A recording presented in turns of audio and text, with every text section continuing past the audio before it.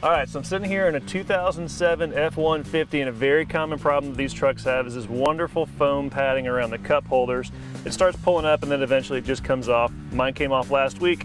So I looked around to see what kind of replacement options I had and I can replace the entire center console for 250 or 350 bucks. I really don't want to do that.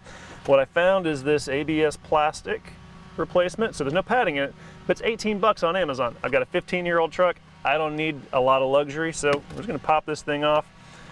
This thing's done. Notice the plastic that's underneath here? We just need to pop this out. It's held in by tabs, and the tabs on the bottom of this are gonna go into the same exact spots on there, so it's a really easy swap. So I've just got a thin slotted screwdriver that I've been popping up under here, and I'm just feeling for those tabs. You're gonna hear some popping noises as you go. Don't worry about it. It's supposed to do that.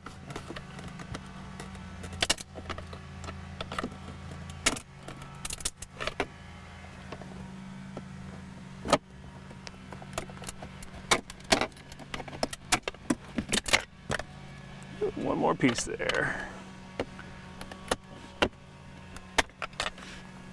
All right, and we managed to keep most of the tabs actually on here still. If they do fall in here, it's not too big of a deal. You shouldn't hear too much rattling. There's really just some foam padding under there.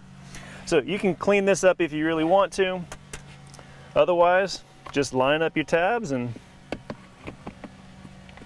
pop it down.